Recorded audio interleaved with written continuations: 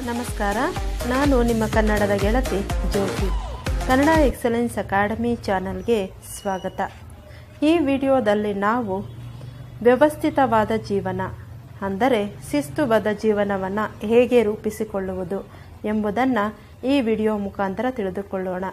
ಅದಕ್ಕೆ ಮೊದಲು ನನ್ನ ಚಾನಲನ್ನು ಸಬ್ಸ್ಕ್ರೈಬ್ ಮಾಡಿರುವ ಎಲ್ಲ ಸಬ್ಸ್ಕ್ರೈಬ್ದಾರರಿಗೂ ನನ್ನ ಹೃದಯಪೂರ್ವಕ ಧನ್ಯವಾದಗಳು. ಹಾಗೂ ಯಾರೆಲ್ಲ ನನ್ನ ಚಾನಲನ್ನು ಮೊದಲ ಬಾರಿಗೆ ನೋಡುತ್ತಿದ್ದೀರೋ ಅವರು ನನ್ನ ಚಾನಲನ್ನು ಸಬ್ಸ್ಕ್ರೈಬ್ ಮಾಡಿಕೊಳ್ಳಿ. ಹಾಗೂ ಅಲ್ಲೇ ಇರುವ ಬೆಲ್ ಬಟನನ್ನು ಪ್ರೆಸ್ ಮಾಡಿ. ಇದರಿಂದ ನನ್ನ ವಿಡಿಯೋಗಳನ್ನು ನೋಡುವುದಕ್ಕೆ ನಿಮಗೆ ನೋಟಿಫಿಕೇಷನ್ ಬರುತ್ತದೆ. ವ್ಯವಸ್ಥಿತ ಜೀವನ ಅಂದರೆ ಶಿಸ್ತುಬದ್ಧ ಜೀವನ ಅಂದರೆ ಏನು? ನಾನು ಇತ್ತೀಚೆಗೆ ಬಂಧುಗಳೊಬ್ಬರ ಮನೆಗೆ ಹೋಗಿದ್ದೆ. ಅವರು ಹತ್ತಿರ ಬಂಧುಗಳಾದ್ದರಿಂದ ಅಡಿಗೆ ಮನೆಗೆ ಹೋದೆ. ಅಲ್ಲಿ ಒಂದು ಆಶ್ಚರ್ಯ ಕಾದಿತ್ತು ಅಲ್ಲಿದ್ದ ಶೆಲ್ಪುಗಳಲ್ಲಿ ಹಲವು ಡಬ್ಬಾ ಸೀಸೆಗಳಿದ್ದು, ಒಂದೊಂದರ ಮೇಲೂ ಆ ಡಬ್ಬಾ ಸೀಸೆಯಲ್ಲಿ ಏನಿರಿಸಲಾಗಿದೆ ಎಂಬುದನ್ನು ಸೂಚಿಸಲು ಒಂದು ಚೀಟಿ ಅಂಟಿಸಲಾಗಿತ್ತು. ಚೀಟಿಗಳ ಮೇಲೆ ಸಕ್ಕರೆ, ಬೇಳೆ, ಕಡಲೆಕಾಯಿ ಬೀಜ ಇತ್ಯಾದಿ ಬರೆಯಲಾಗಿತ್ತು. ನನ್ನ ಬಂಧು ನನಗಾಗಿ ಕಾಫಿ ಮಾಡಿಕೊಟ್ಟಾಗ, ಅವರು ಸಕ್ಕರೆ ಡಬ್ಬ ಎಲ್ಲಿ, ಕಾಫಿ ಪುಡಿ ಎಲ್ಲಿ ಎಂದು ಹುಡುಕುತ್ತಿರಲಿಲ್ಲ. ಚೀಟಿಯ ನೆರವಿನಿಂದ ಆಯಾ ಡಬ್ಬಗಳನ್ನೆತ್ತಿಕೊಂಡು ಬೇಕಾದ ಪದಾರ್ಥ ತೆಗೆದುಕೊಂಡು ಮತ್ತೆ ಆ ಡಬ್ಬ ಅಲ್ಲೇ ಇರಿಸುತ್ತಿದ್ದರು. ಕಾಫಿಯೂ ಬೇಗನೆ ಆಯಿತು. ಈ ವ್ಯವಸ್ಥೆ ಕಂಡು ನನಗೆ ಮುದವಾಯಿತು ನನ್ನ ಮನೆಯ ಅಡಿಗೆ ಮನೆಯಲ್ಲೂ ಹೀಗೆಯೇ ಮಾಡಲು ನಿರ್ಧಾರ ಮಾಡಿಕೊಂಡೆ. ಅಚ್ಚುಕಟ್ಟಾದ, ವ್ಯವಸ್ಥಿತವಾದ ಜೀವನದಿಂದ ಯಶಸ್ಸಿರುತ್ತದೆ ಎಂದು ಧಾರಾಳವಾಗಿ ಹೇಳಬಹುದು. ಲೈಬ್ರರಿಯಿಂದ ಪುಸ್ತಕ ತರುತ್ತೇನೆ. ಹದಿನೈದು ದಿನ ಓದಲು ಅವಕಾಶ. ಪುಸ್ತಕ ಹಿಂದಿರುಗಿಸಬೇಕಾದ ದಿನದಂದೇ ಮರಳಿ ಕೊಟ್ಟರೆ ದಂಡ ತೆರಬೇಕಾಗಿಲ್ಲ. ಎರಡು ಮೂರೋ ದಿನ ತಡವಾದರೆ ದಂಡ ಖಚಿತ. ಲೈಟ್ ಬಿಲ್, ಟೆಲಿಫೋನ್ ಬಿಲ್, ನೀರಿನ bill, L I C premium. ಹೀಗೆ ಯಾವುದನ್ನು ಯಾವ ಸೂಚಿತ ದಿನದೊಳಗೆ ಕಟ್ಟಬೇಕೋ ಆ ದಿನದಲ್ಲಿ ಕಟ್ಟಿದರೆ ದಂಡ ತೆರುವ ಅಗತ್ಯವಿಲ್ಲ.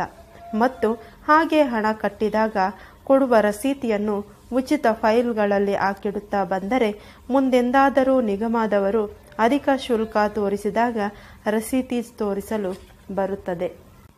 ಮನೆಯಲ್ಲೂ ಅಷ್ಟೇ ಸ್ವಂತ ದಾಖಲೆಗಳು, ಪುಸ್ತಕಗಳು, ಡ್ರೆಸ್ಗಳು, ಶೃಂಗಾರ ಸಾಧನಗಳು, ಓದಿದ ಪೇಪರ್ಗಳು, ಪಾದರಕ್ಷೆಗಳು ಇವೆಲ್ಲ ಇವನ್ನೆಲ್ಲ ಅವಕ್ಕೆಂದೇ ನಿಗದಿ ಮಾಡಿಕೊಂಡ ಜಾಗದಲ್ಲೇ ಇರಿಸಬೇಕು. ಬೇಕಾದಾಗ ಅವು ಕೈಗೆ ಸಿಗುವಂತಿರಬೇಕು. ಹುಡುಕುವ ಗೋಜಿಗೆ ಹೋಗಬಾರದು. ಕೆಲವರು ಬ್ಯಾಂಕ್ ಪಾಸ್ಬುಕ್, ಚೆಕ್ ಪುಸ್ತಕ, ಬೀಗದ ಕೈ, ಕನ್ನಡಕದ ಕೇಸ್, ಕನ್ನಡಕ ಪೆನ್ ಮೊದಲಾದ ದಿನಬಳಕೆ ವಸ್ತುಗಳನ್ನು ಎಲ್ಲೆಲ್ಲಿಯೂ ಇಟ್ಟು ಅವನ್ನು ಹುಡುಕುವುದರಲ್ಲೇ ಕಾಲ ಕಳೆದು ಬಿಡುತ್ತಾರೆ. ನಾನು ಯೋಚಿತ, ಯೋಚಿತಳಾಗಿ ಕೆಲಸ ಮಾಡಬೇಕು. ನಾನು ಮಾಡುವ ಕೆಲಸಗಳು ಒಂದು ವೇಳಾಪಟ್ಟಿಯಂತೆ ಜರುಗಿಸಬೇಕು. ಇದಕ್ಕಿರುವ ಸುಲಭೋಪಾಯವೆಂದರೆ ಮಂತ್ಲಿ ಪ್ಲಾನರ್ ಒಂದಿಟ್ಟುಕೊಳ್ಳುವುದು. ಮೊದಲೇ ಮುಂದೆ ಮಾಡಬೇಕಾದ ಕೆಲಸಗಳನ್ನು ಪಟ್ಟಿ ಮಾಡಿಡುವುದು. ದಿನಕ್ಕೊಮ್ಮೆ ಅದನ್ನು ನೋಡಿ ಯೋಜಿತ ರೀತಿಯಲ್ಲಿ ಕೆಲಸಗಳನ್ನು ಮಾಡುತ್ತಾ ಹೋಗುವುದು. ಇದರಿಂದ ಕೆಲಸಗಳು ನೆನಪಿನಲ್ಲಿ ಉಳಿಯದೆ ಕೈ ಜಾರಿ ಹೋಗುವುದು ಸಹ ತಪ್ಪುತ್ತದೆ. ಅಯ್ಯೋ, ಮರೆತೆ ಬಿಟ್ಟೆ. ಎಂಥ ಅಚಾತುರ್ಯವಾಗಿ ಹೋಯಿತು ಎಂದೆಲ್ಲ ಹೇಳಿಕೊಂಡು ಹೋಗುವುದು ತಪ್ಪುತ್ತದೆ. ನಮಗೆ ಬರುವ ಪತ್ರಗಳಿಗೆ ಸಾಲೆರಡಾದರೂ ಉತ್ತರಿಸಬೇಕು. ಕಾರ್ಯಕ್ರಮಗಳಿಗೆ ಹೋಗಲಾಗದಿದ್ದರೆ ವಿಷಾದಿಸಿ ಬರಲಾಗುತ್ತಿಲ್ಲ ಎಂದು ಬರೆಯಬೇಕು. ದೂರವಾಣಿ ಬಂದಾಗ, ನೀವು ಮನೆಯಲ್ಲಿಲ್ಲದಿದ್ದರೆ ಅದು ತಿಳಿದಾಗ ಯಾರೆಂದು ತಿಳಿದು ಅವರಿಗೆ ದೂರವಾಣಿ ಮಾಡಿ ಏನೆಂದು ಕೇಳಿ ತಿಳಿದುಕೊಳ್ಳಬೇಕು. ಆಗ ಜನ ನಿಮ್ಮ ಸ್ವಭಾವ, ಭರವಸೆ, ನೀಡುವಿಕೆಗಳನ್ನು ನಂಬುವರು. ನಾನು ಇಂಥ ವಿಷಯಗಳಿಗೆ ಮಹತ್ವ ಕೊಡುತ್ತೇನೆ. ಮಹಾತ್ಮ ಗಾಂಧೀಜಿಯವರ ಪತ್ರಗಳಿಗೆ ಉತ್ತರಿಸುವಲ್ಲಿ, ಪತ್ರ ಬರೆಯುವಲ್ಲಿ ದಿನದ ಸ್ವಲ್ಪ ಸಮಯವನ್ನು ತಪ್ಪದೇ ವಿನಿಯೋಗಿಸುತ್ತಿದ್ದರು. ಅವರ ಲೇಖನ ಇತ್ಯಾದಿಗಳ ಸಂಗ್ರಹವಾದ ನೂರು ಸಂಪುಟಗಳಿಲ್ಲ. Collected works of Mahatma Gandhi ಕೃತಿಯಲ್ಲಿ ಪತ್ರಗಳಿಗೆ ಹೆಚ್ಚು ಜಾಗ ಇರುವುದು ಕಂಡುಬರುತ್ತದೆ. ಬ್ರಿಟಿಷ್ ಆಡಳಿತಾಧಿಕಾರಿಗಳೊಂದಿಗೆ ಅವರು ತಪ್ಪದೇ ನಡೆಸಿದ ಪತ್ರ ವ್ಯವಹಾರಗಳು ಅವರು ಇಟ್ಟುಕೊಂಡಿದ್ದ ಸ್ವಾತಂತ್ರ್ಯದ ಗುರಿ ತಲುಪಲು ಸಾಧ್ಯವಾದ ಅಂಶಗಳಲ್ಲಿ ಒಂದು. ನಾನು ಮನೆಯಲ್ಲಿ ಯಾವಾಗಲೂ ಅಂಚೆ ಕಾರ್ಡುಗಳು ಲಕೋಟೆಗಳ ಲಕೋಟೆಗಳಲ್ಲಿ ಲಕೋಟಿ ಲಕೋಟೆಗಳಿಟ್ಟಿರುತ್ತೇನೆ. ಕೂಡಲೇ ಉತ್ತರಿಸಲು ಅವು ನೆರವಾಗುತ್ತವೆ. ಕಾಗದ ಬರೆದ ಮೇಲೆ ನಾನೇ ಹೋಗಿ ಅಂಚೆ ಡಬ್ಬಿಗೆ ಹಾಕಿ ಬರುತ್ತೇನೆ. ವ್ಯವಸ್ಥಿತವಾಗಿ ಜೀವನ ನಡೆಸುವುದು ಒಂದು ಕಲೆ. ಅದರಿಂದ ಲಾಭಗಳಿವೆ ಹೇಳಿಯೇ ಇರುತ್ತದೆ. ವ್ಯವಸ್ಥಿತ ಜೀವನ ನಡೆಸುವವರು ಯಾವಾಗಲೂ ಏನಾದರೊಂದು ಉಪಯುಕ್ತ ಕೆಲಸ ಮಾಡುತ್ತಿರುತ್ತಾರೆ. ಕಾಲವನ್ನು ಪೋಲು ಮಾಡುವುದಿಲ್ಲ. ಕಳೆದು ಹೋದ ಹೊತ್ತು ಕೈಜಾರಿ ಒಡೆದ ಮುತ್ತಿನಂತೆ. ಈ ಸಂದರ್ಭದಲ್ಲಿ ನಾನು ಕೆಲವು ಕಿವಿ ಮಾತುಗಳನ್ನು ಇಲ್ಲಿ ಕೊಡಬಯಸುತ್ತೇನೆ ಇವು ನನಗೆ ಮಾತ್ರ ಪ್ರಿಯವಾಗಿವೆ. ವ್ಯವಸ್ಥಿತ ಜೀವನದ ಶೈಲಿಯೂ ಇದರಿಂದ ಉತ್ತಮವಾಗುತ್ತದೆ. ಮೊದಲನೆಯದು ತಾಳ್ಮೆ ದೊಡ್ಡ ಗುಣ. ಯಾರು ಏನು ಮಾತಾಡಿದಾಗಲೂ ತಕ್ಷಣ ಪ್ರತಿಕ್ರಿಯಿಸಬಾರದು. ಸಹನೆ ಎಷ್ಟೋ ಅಭಾಸಕರ ಪರಿಸ್ಥಿತಿಗಳನ್ನು ತಡೆಯು, ತಡೆಯುತ್ತದೆ. ಎರಡನೆಯದು, ಯಾವುದೇ ಕಾರಣಕ್ಕೂ ಯಾರಾದರೂ ಶುಭಾಶಯ ಹೇಳಿದರೆ ಸುಮ್ಮನೆ ವಂದನೆ ಹೇಳಿ. ನಾನು ಇದಕ್ಕೆ ಅರ್ಹನಲ್ಲ ಎಂದು ತಿಳಿಸ ಹೋಗಬೇಡಿ. ಮೂರನೆಯದು, ಜನ ನಿಮ್ಮ ದೌರ್ಬಲ್ಯಗಳನ್ನು ಗುರುತಿಸಿ ಶೋಷಣೆಗೆ ತೊಡಗುತ್ತಾರೆ. ನೀವು ನಿರಪಯೋಗಿ ಎಂಬಂತೆ ವರ್ತಿಸಬೇಡಿ. ನಾಲ್ಕನೆಯದು, ಸುಸಂಸ್ಕೃತರ ಗೆಳೆಯ, ಗೆಳೆತನ ಮಾಡಿ. ಅಸಭ್ಯವಾಗಿ ವರ್ತಿಸುವವರ ಸಂಪರ್ಕ ಬೇಡವೇ ಬೇಡ. ಹಿರಿಯರನ್ನು, ಗೆಳೆಯರನ್ನು ಗೌರವಿಸಿ. ಅಪರಿಚಿತರಲ್ಲಿ ಸಂಯಮದಿಂದ ವರ್ತಿಸಿ. ಆರನೆಯದು, ಯಾರಾದರೂ ನಿಮ್ಮೊಡನೆ ಮಾತಾಡುತ್ತಿದ್ದರೆ ಅಡ್ಡಿ ಮಾಡಬೇಡಿ. ಅವರು ತಮ್ಮ ಮಾತು ನಿಲ್ಲಿಸಿದ ಮೇಲೆ ನೀವು ಮಾತಿಗೆ ತೊಡಗಿ. ಏಳನೆಯದು, ಜಗಳವಾಡುತ್ತಿರುವವರ ನಡುವೆ ಪ್ರವೇಶಿಸಬೇಡಿ. ಅವರು ನಿಮ್ಮ ಮೇಲೆ ತಿರುಗುಬಿದ್ದಾರು. ನೀವು ಯಾರು, ನೀವ್ಯಾರ್ರಿ ಕೇಳಕ್ಕೆ ಎಂದು ಕೂಗಿಯ, ಕೂಗಿ ಯಾಡಿಯಾರು. ಎಂಟನೆಯದು, ತಿರುಗಾಡುವಾಗ ಹಣ ಕಡಿಮೆ ಒಯ್ಯಿರಿ. ಮಹಿಳೆಯರು ತಮ್ಮ ಶೃಂಗಾರ ಚೀಲದಲ್ಲಿ ಅಮೂಲ್ಯ ವಸ್ತುಗಳನ್ನು ಒಯ್ಯುವುದು ಉಚಿತವಲ್ಲ, ಅದನ್ನು ಅಪಹರಿಸುವುದಕ್ಕೆ ಸುಲಭವಾಗುತ್ತದೆ. ಮನೆಯಲ್ಲಿ ಸಣ್ಣ ಮಕ್ಕಳಿದ್ದರೆ ಅವರಿಗೆ ಸಣ್ಣ ನಾಣ್ಯಗಳು ಸಿಗುವಂತೆ ಇಡಬೇಡಿ. ಅವರು ನುಂಗಿಯಾರು. ಹತ್ತನೆಯದು, ಕೆಲವರು ಸಣ್ಣ ಚಿಂತೆಗಳನ್ನು ದೊಡ್ಡದು ಮಾಡಿ ಹೇಳುತ್ತಿರುತ್ತಾರೆ. ಉದಾಹರಣೆಗೆ, ಬಾಸ್, ಹೀಗಂದರು? ನನಗೆ ಟ್ರಾನ್ಸ್ಫರ್ ಕೊಡಲಿಲ್ಲ.